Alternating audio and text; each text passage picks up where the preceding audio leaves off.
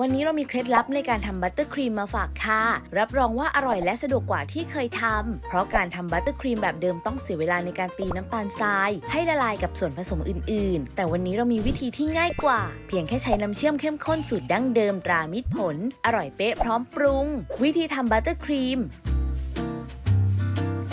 ใส่น้ำเชื่อมเข้มข้นสูตรดั้งเดิมตรามิตรผลลงในภาชนะ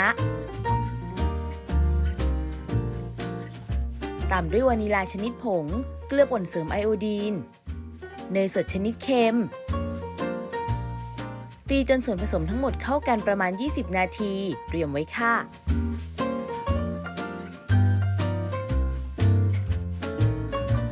วิธีทำบัตเตอร์ครีมสีชมพูอ่อน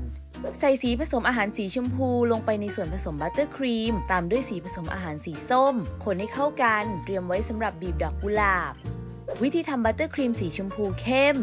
ใส่สีผสมอาหารสีชมพูลงไปในส่วนผสมบัตเตอร์ครีม ตามด้วยสีผสมอาหารสีส้ม คนให้เข้ากัน เตรียมไว้สำหรับบีบแต่งด้านข้าง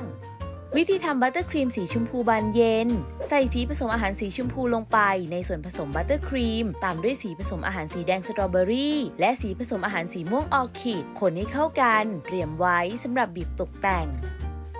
บีบบัตเตอร์ครีมสีชมพูอ่อนให้เป็นทรงกุหลาบ ตกแต่งลายด้านข้างเป็นริ้วให้สวยงามด้วยบัตเตอร์ครีมสีชมพูเข้ม จากนั้นบีบแต่งด้วยบัตเตอร์ครีมสีชมพูบานเย็น ตกแต่งด้วยลูกปัดน้ำตาลให้สวยงาม แค่นี้ก็พร้อมเสิร์ฟแล้วค่ะ จุดเด่นของบัตเตอร์ครีมสูตรนี้จะทำให้เนื้อบัตเตอร์ครีมเงาสวยและสีไม่เพี้ยน เพราะการใช้น้ำตาลทรายมาเคี่ยวเป็นน้ำเชื่อม มักจะพบกับปัญหาน้ำเชื่อมไหม้และการตกผลึกของน้ำเชื่อม วิธีการแก้ไขปัญหาเหล่านี้มักจะใส่กรดลงไปในส่วนผสม แต่ก็เป็นสาเหตุที่ทำให้บัตเตอร์ครีมมีสีเพี้ยนได้ และที่สำคัญการใช้น้ำเชื่อมเข้มข้นสูตรดั้งเดิมตรามิตรผล จะช่วยประหยัดเวลาในการทำบัตเตอร์ครีม บัตเตอร์ครีมสูตรนี้เมื่อทำเสร็จแล้วสามารถบีบบนถ้วยคัพเค้กได้ 20 ชิ้น มีต้นทุนอยู่ที่ 113 บาท เฉลี่ยต้นทุนบัตเตอร์ครีมที่บีบด้านบนคัพเค้กต่อ 1 ชิ้น เท่ากับ 6 บาทค่ะ